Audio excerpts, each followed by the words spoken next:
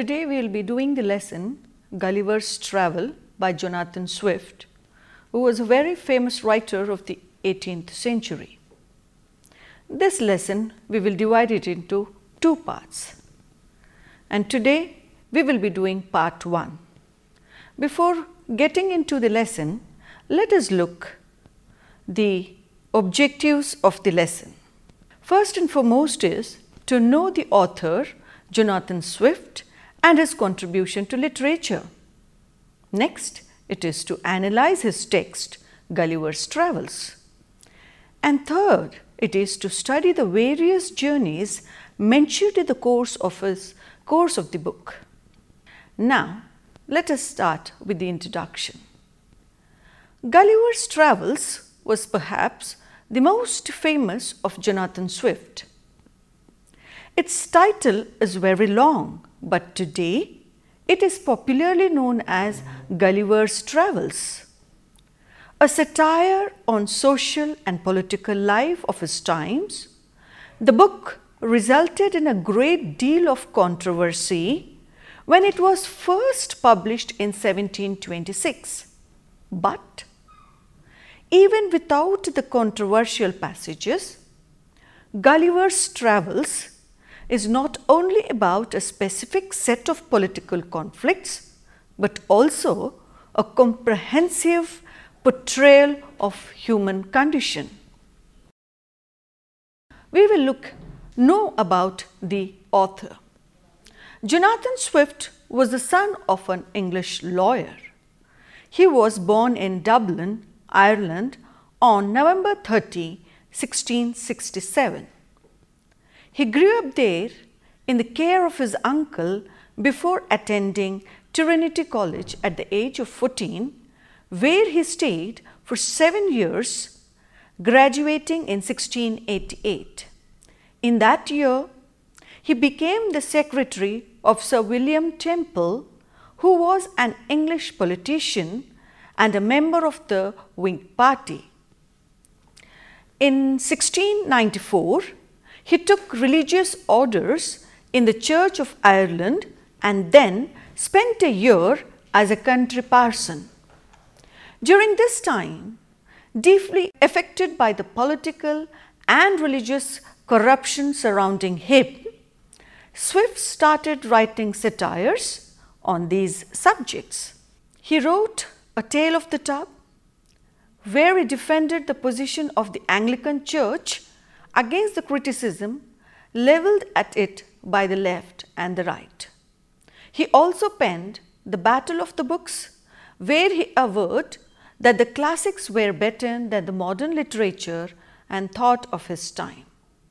In addition, he also penned a number of political pamphlets.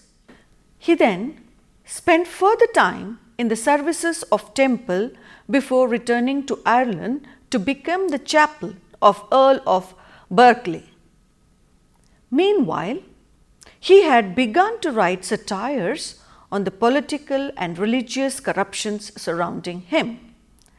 Late in life, Swift seemed to become more casuistic and bitter than he had been. Three years before his death, he was declared unable to care for himself and guardians were appointed. Based on these facts and on the comparison between Swift's fate, that of his character Gulliver, some people have concluded that he gradually became insane and that his insanity was a natural outgrowth of his indignation and outrage against human mankind. However, the truth seems to be that Swift was suddenly incaptuated by a paralytic stroke late in life and that prior to this incident his mental capacities were unimpaired.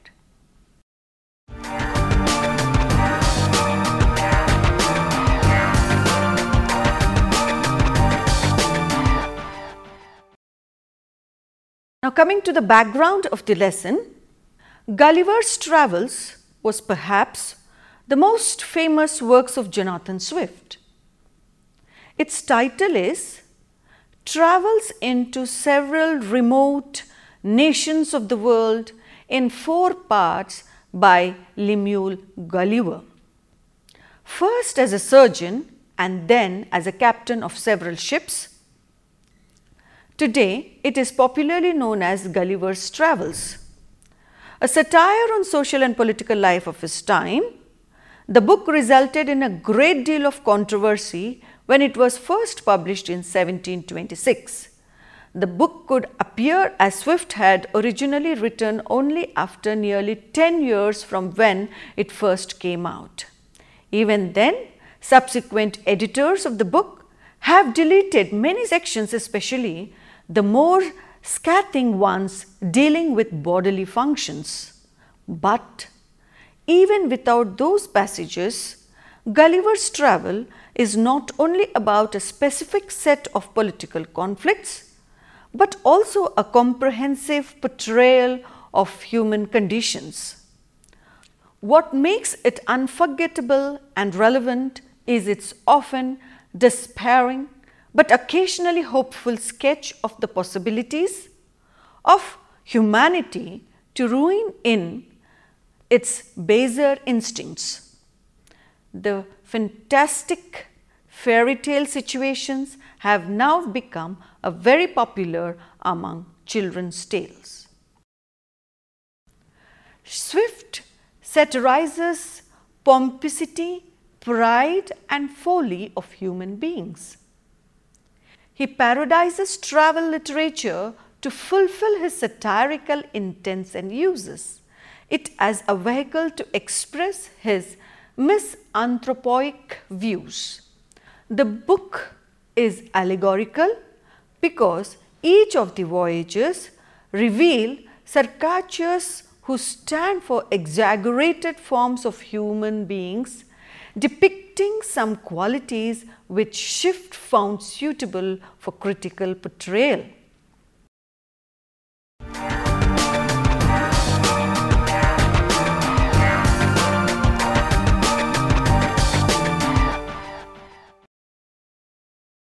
Now we will look into the summary of this novel. Gulliver's Travels narrates the story of its hero, Lemuel Gulliver's travel to imaginary lands. The book consists of four parts, each of which describes Gulliver's adventure in different strange undiscovered lands that are populated by weird and wonderful creatures, very like human beings, yet significantly different. The narrative is in the first person. Gulliver recounts the adventures that befall him on these travails and in an almost expressionless style.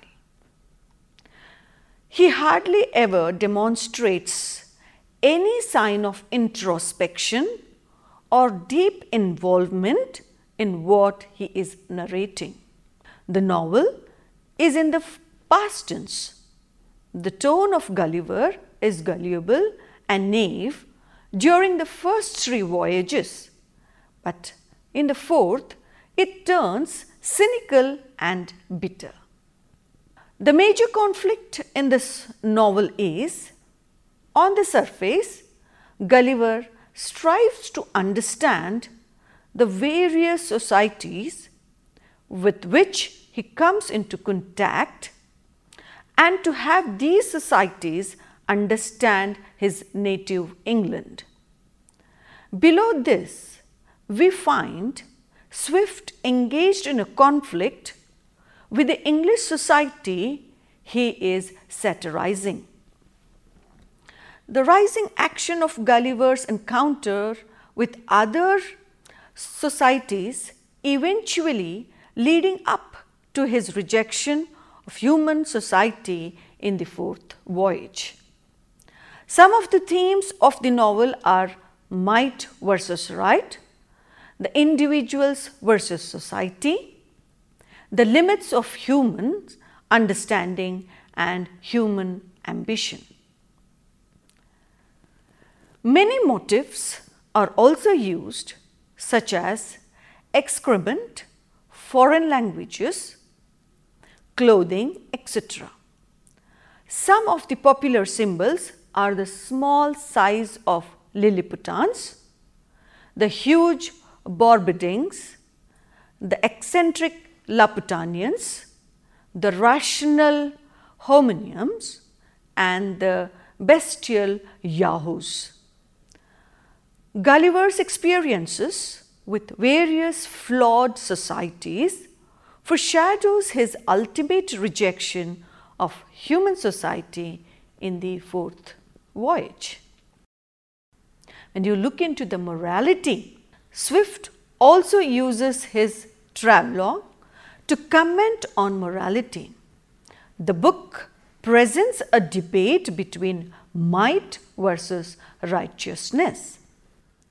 The author questions the efficacy of that power which is not tampered by morality. For instance, Gulliver is able to help the Lilliputians army against their enemies only because of his huge size. He does not waste a moment's contemplation on whether he is justified in supporting the Lilliputians or the defeating the Balbacuans navy.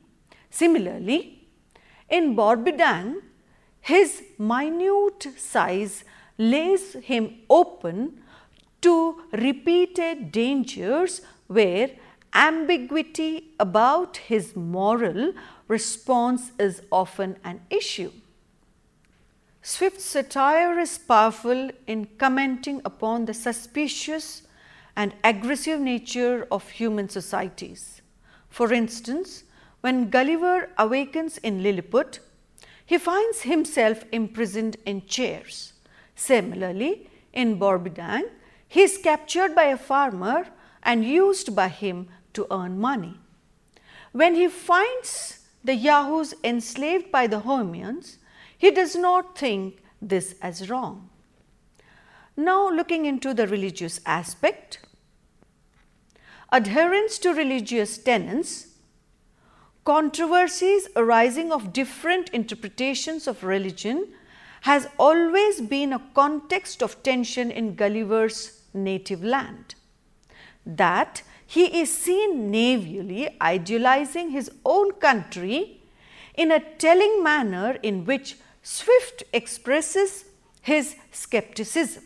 For instance, the Houyhnhnms justify their superiority because for them order, discipline, cleanliness, rationality are all and inviolable as religion. In this, the Yahoos are far behind and therefore deserve to be looked down upon.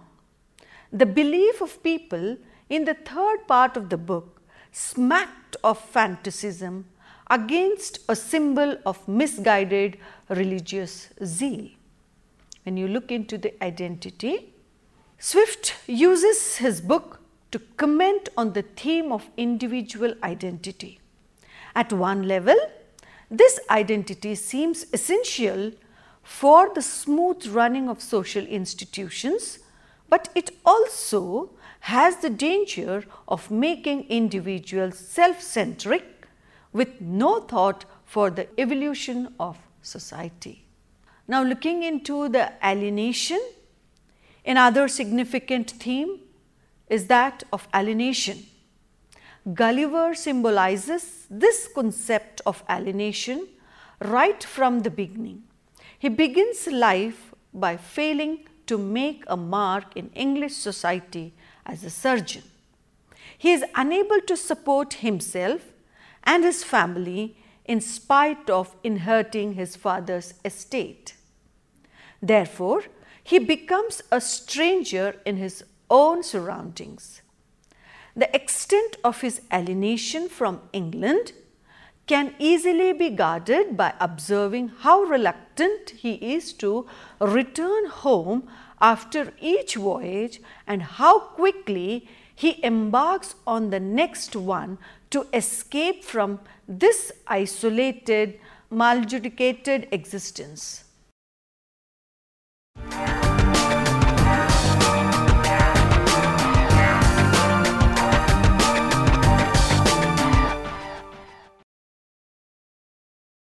In our model 4, we will be doing part 1 of a voyage to Lilliput. The book begins with a short preamble in which Lemuel Gulliver, in the style of books of the time, gives a brief outline of his life and history before his voyages. He enjoys traveling, although it, has, it is his love of travel that is his downfall. During his first voyage, Gulliver is washed ashore after a shipwreck and finds himself as a prisoner of a race of tiny people less than 6 inches tall, who are inhabitants of an island country of Lilliput. Gulliver's adventure in Lilliput begins when he walks after his shipwreck to find himself bonded by innumerable tiny threads and addressed by tiny captors who are in awe of him but fiercely protective of their kingdom. They are not afraid to use violence against Gulliver, though their arrows are tiny, are little more than pin pickers to Gulliver, but overall they are hospitable risking famine in their land by feeding Gulliver, who consumes more food than a thousand Lilliputians combined.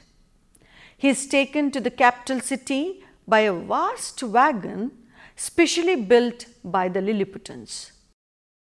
He is presented to the emperor who is entertained by Gulliver just as Gulliver is flattered by the attention of royalty. After giving assurances of his good behavior, he is given a residence in Lilliput and became a favorite at the court. From there, the book follows Gulliver's observation on the court of Lilliput. He is also given the permission to roam around the city on conditions that he will not harm their subjects.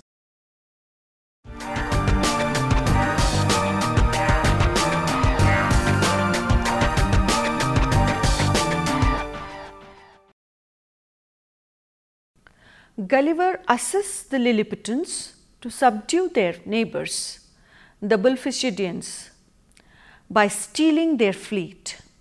Eventually, Gulliver becomes a national resource used by the army in its war against the people of Bullphishian, whom the Lilliputians hate for doctrinal difference concerning the proper way to crack eggs. However, he refuses to reduce the island nation of Bullphishians to a provincial of Lilliput, displeasing the king and the court. But things change when Gulliver is convicted of treason uh, for putting out a fire in the royal palace with his urine and is condemned to be shot in the eyes that is blinded and starved to death. Gulliver was convicted for treason for making water in the capital even though he was putting out the fire and saving countless lives. Among other crimes, with the assistance of a kind friend, Gulliver escapes to Bullphishian, where he spots and retrieves as an abandoned boat and sails out to be rescued by a passing ship, which safely takes him back home to England.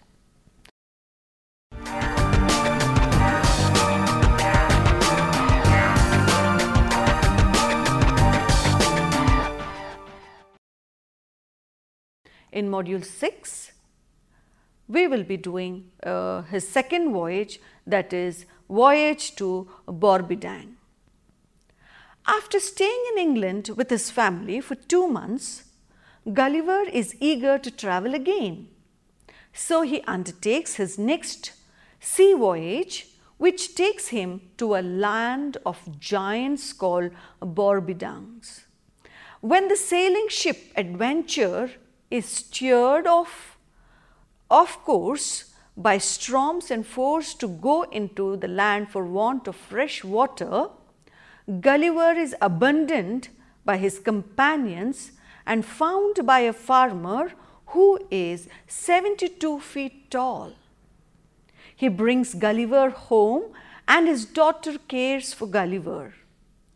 The farmer treats Gulliver as a curiosity and exhibits him for money. The words get out and the queen of Borbidang wants to see the show.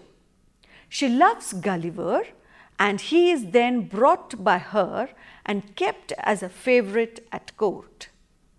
Since Gulliver is too small to use their huge chairs, beds, knives and forks, the queen commissions a small house to be built to Gulliver so that he can be carried around in it. This is referred to as his travelling box. Social life is easy for Gulliver after his discovery by the court, but not particularly enjoyable. Gulliver is often repulsed by the physicality of the Borbidangs, whose ordinary flaws are many times exaggerated by their huge size. In between small adventures, such as fighting giant wasps and being carried to the roof by a monkey, he discusses the state of Europe with the king. He is generally startled by the ignorance of the people here. Even the king knows nothing about politics. The king is not happy with Gulliver's account of Europe, especially upon learning of the use of guns and cannons. On a trip to the seaside, accompanying the royal couple, his travelling box is seized by a giant eagle which drops Gulliver in his box right into the sea where he is picked up by some sailors who return him to England. This book compares the truly moral man to the representative man. The latter is clearly shown to be the lesser of the two. Swift, being in Anglican holy orders, was likely to make such comparisons. Well, learners, hope you all have enjoyed this novel and see you all in the next class. Thank you.